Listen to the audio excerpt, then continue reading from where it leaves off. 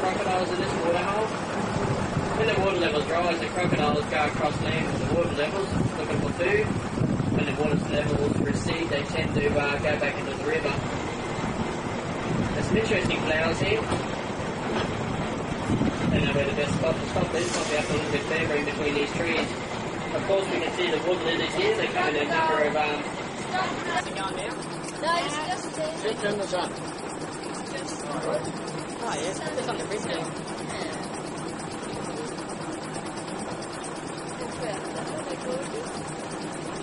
of any crocodile. He's a big crocodile. I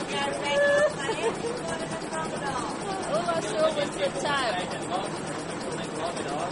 Just look at those strange people taking photos of people. The hell's going on?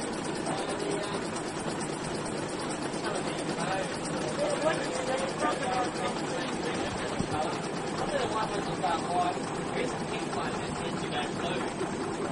that very front.